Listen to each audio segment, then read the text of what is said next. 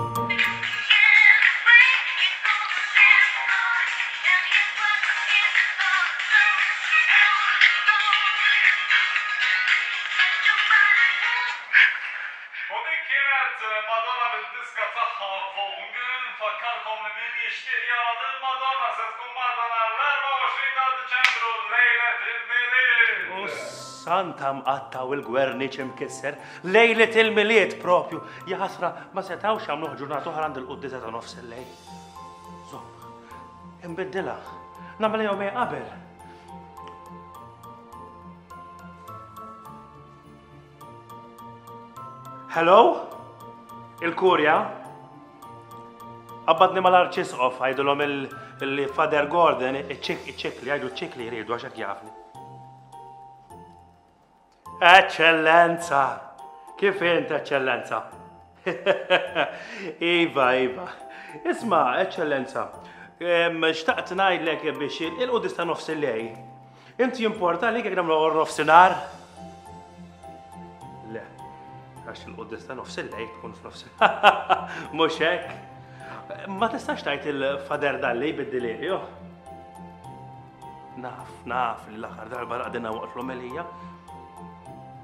All right. X'għandi? Eh, għandi Aw, burbur marrat, hija fej joqgħod Joseph, eh, ħabba l-pellegrinaġġ. Eh, Tal-Madonna, eh, just like a prayer. Iva. Alright, żgur.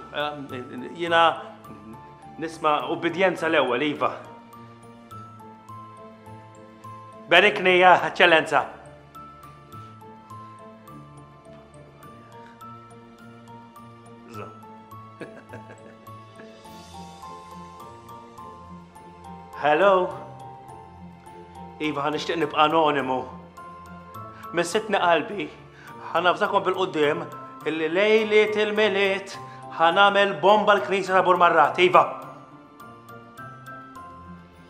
You're welcome.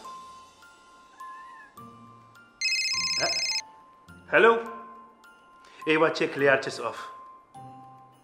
ħat ħasru l-qoddesa ta' nofs il-lejn. U għeja, xin għala? Grazzi. Ħabba tajjeb nista' mmur mela.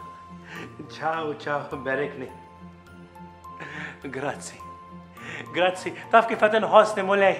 Like a virgin, touched for the very first time.